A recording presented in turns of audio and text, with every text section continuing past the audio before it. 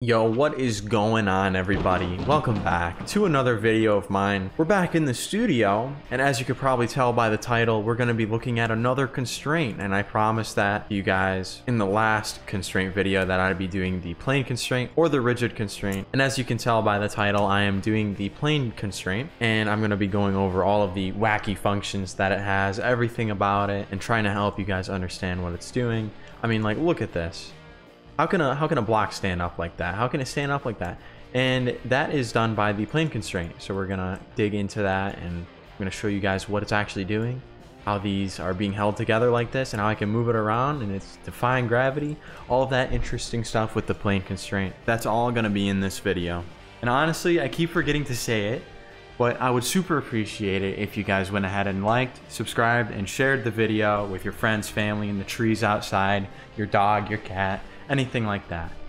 So with that, we're to get right into it. So to begin with, I wanted to mention to you guys that there's no actual information provided by Roblox in the developer hub. So all the information in this video will be based on my own discoveries and real life or off Roblox examples where plane constraints are actually used, similar to how Roblox uses them. So I went ahead and did some of the research and testing, and I'm to share with you guys what I found, and I will also leave a link to where I got the information from so you guys can, if you want, get a more advanced explanation or an in-depth one. So to start, the plane constraint is specifically a planar mechanism, which is fairly obvious to call it. A planar mechanism, though, is what it's called when the rigid bodies move based on one plane or parallel planes. When a rigid body or part is constrained by a plane, it is limited to three independent motions. There's two transitional ones, those being its ability to move on the x and the y axis, and one rotary motion, that being its ability to spin or move around 360 degrees. There are also two pairs that this can fall into, the first being a revolute pair and the second being a prismatic pair. Revolute means that it will revolve and be able to spin around the point it's constrained to, whereas a prismatic pair slides along the surface of the point it's constrained to. This will be very important later when deciding how to attach and constrain your parts and blocks in Studio. I also stumbled across some other places I saw using planar constraints or plane constraints. They were mainly used in other game engines like the Unreal Engine or other physics simulators, which makes sense since Roblox is similar to those and was originally a 2D physics simulator. Based on what I saw coming from those other game engines and physics simulators, the rigid bodies or parts in Roblox act and function the same way or almost the same way. Basically, an object or a character would travel parallel to the plane it's constrained to or planar to its surface. And specifically what I saw was that it was traveling basically flat along the surface that it was constrained to. I also went ahead and ran some of my own small tests in Studio and based on what I saw compared to what I read and learned beforehand, I guess I could confirm that in Roblox it is working properly. To help you guys better understand, I also wanted to compare to the linear velocity constraint video. In there, I covered the limited directions you could choose the constraint to travel on, those being vector, plane, and line. The same idea for the plane constraint applies here as well. Similar to what I explained in the beginning of the video, this means that it's going to move limited to two axes, the x and the y. Another way to look at it is to think in two-dimensional terms. It's flat, and there's only two directions it can move, up, down, and side to side. And similar to in other videos, I would get into the properties, except for this one. This one has no new important or function changing properties on it, aside from changing which attachment is attachment 1 or attachment 0, which every single one has. And that pretty much sums it up for the general explanation of what it does and how it works. And once again, if you want to look into it more, I'll have those links down below in the description. And now I'm going to get into doing some live tests with the constraint for you guys, doing tests in multiple scenarios, with other constraints being used with the plane constraint, where I'll really just be playing around with it. Alright, so like I just said, we're going to start the testing phase.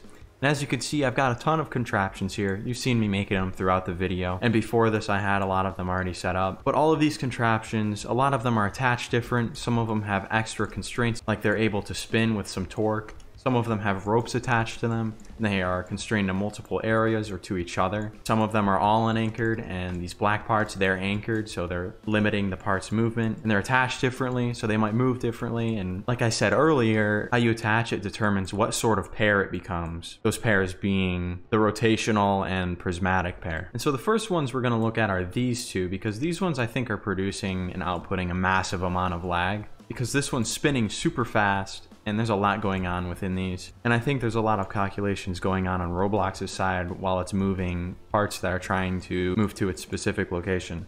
And we can't have that because whenever I load in the game, it takes like 10 years to load in the game. So after we do the test for these, we're going to delete them and see if it changes at all. And hopefully it does. There is a lot going on in this game. You know, beyond these walls, I got a whole nother world. So I'm to explain what these do real quick and then we're to go ahead and jump into a test. What's happening here is that this one's attached to this attachment. And it's basically trying to meet the point here constantly. And we can see that it's doing that by hovering over it. I'm using alt select so I can see all the class and the names and what attachment's going where and everything. But we can see that by when we hover over it's glowing over here, drawing this line to this point, and that's how we know it's going to that point.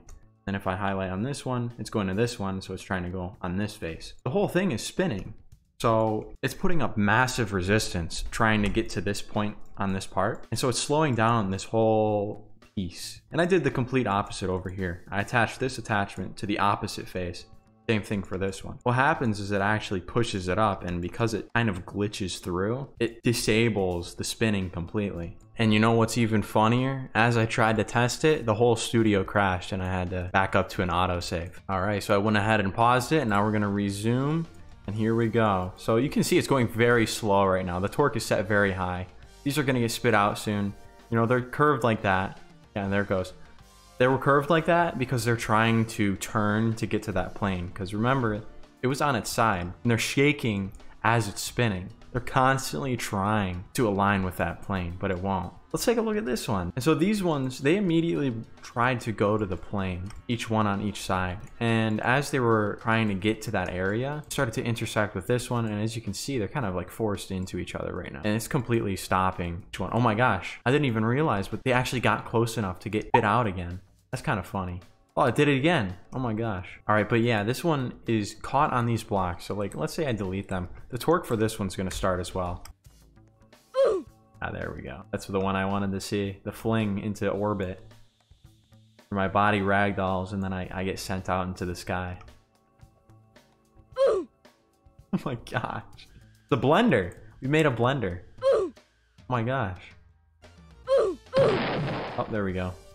All right, so I deleted those spinny things. Loading was considerably faster, I must admit. Now I'm gonna activate selection here. Well, first I should activate my constraints. Then I'll activate selection. You know what? We'll go into... Okay, I can't do that in test mode. I forgot. I made a video on that. Can't go into physical dragger mode in test mode. But uh, we're to move this one around. All right, this one is attachment 0, and this one's attachment 1. So let's see. Because this one is attachment zero, I think this one is going to be the one that rotates. In this case, based on this attachment, it's a rotary pair. But based on this one, this is where it gets pretty cool. It's going to move this part along with it. And that is how the prismatic pair works. It's basically locked on this invisible plane. And it's like infinite, infinite distance, infinite height, and the X and the Y. And so it can't move past this point. This attachment cannot move past this plane. It will, will never. And so basically, it'll move the part with it so that it never gets past that point, which is pretty cool. And then we got some floating ones over here. I've attached them differently as well. The blue one is attachment one, and the red one is attachment zero, and it's the opposite over here. So as you can see, it moves a lot smoother. It moves a lot quicker compared to the other one. And I do have custom physical properties on this. Why it's moving like ice, it might slip off. Oh wait, is it not gonna slip off? Like look at that, it's just defying gravity. Can I, oh my gosh. I didn't even know it could do that. Dude, that is cool. I've got like a balloon now. Yo, found a new way to make balloons. That is so cool. Got like some water physics looking stuff to it as well. You rock something in water like this and it'll kind of act buoyant like that. And then this one, it's like hard to move and everything. And once the weight gets off balance, it'll it'll actually fall off. Yep, and there it goes. But it's staying on a tilt because it's trying, it's trying to align with this one. It's going into the rotary pair mode.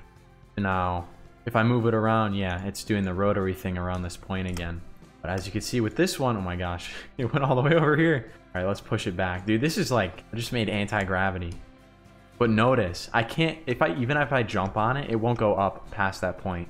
I can move it side to side, and so basically the plane is looking down on it, like a bird's eye view, like looking at this base plane almost. Okay, we're just gonna let it go. Same thing went with these ones. But now we're gonna see what happens if there's two of them. Ah, Ah, that's interesting. So each one individually has its own limit. and they're both aligning with each individual attachment. Like this one's attached to this point, and this one is attached to this one. And this one over here is a little different. I already kind of screwed around with it. But in this case, these ones are the... Wait, there's three attachment zeros. I didn't even know I could do that. That's interesting. So, wow, okay. One moves with it and one's limited. Ah, that is weird. This one moves both of them. This one can only move the red one. I think the red one can move both blue cubes. Yeah, it can. And what's even more cool is that one of them is a prismatic pair while the other one's a rotary. Do two different things if you have two different parts attached in two different ways. So this one's pretty cool as well. This one's supposed to be spinning. Well, this one, yeah, no, it's the same as that one actually. One of them's prismatic while this one is rotary. So I can spin this one around the point. It'll, it'll line up flat once it meets that point, but after that, it turns rotary and it'll just like go around. Same thing with this one, except this one's prismatic, which means I can't push it past this plane and it'll adjust accordingly. That's pretty much the same with the rest of these. So we're just gonna move on ahead to the rope one. They started moving around, like this one, as soon as I started testing it, tried to attach itself over there. Then it like broke. I don't know why. And this one, this one just seems to be doing it just fine. Oh, it looks like this plane is trying to move every time this one moves. I don't have enough force. Oh, I can, I can. As soon as I push it off, it like, it like goes straight back. That's pretty cool. And the point is still in line with the plane. Like it never, it never crosses over no matter how much I push it. Does this one change based on how this one moves? No, just hanging out. Oh, it does. It does. It rotates. Uh, okay, that's enough of that. that. Those are pretty simple. You guys, I advise you guys should go run your own tests and stuff with all of the other constraints. And who knows what you might find. You might find a whole new game idea like this one. This one's really cool.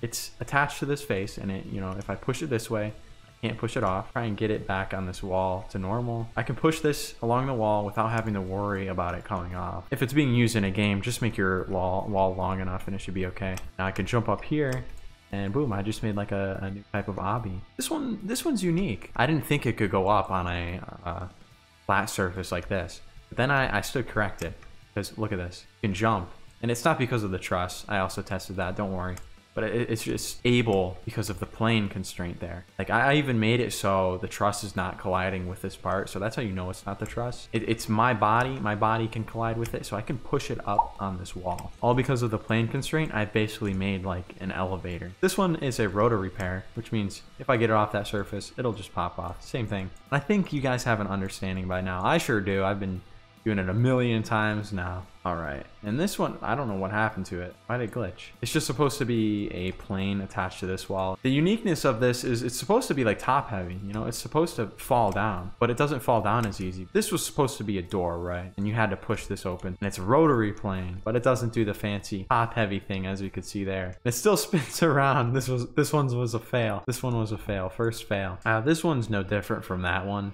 It's just anchored. And this one, same thing. This was the first time I learned of the prismatic pair. And that will do it for the testing section. That was kind of long and tedious and uh, kind of crazy.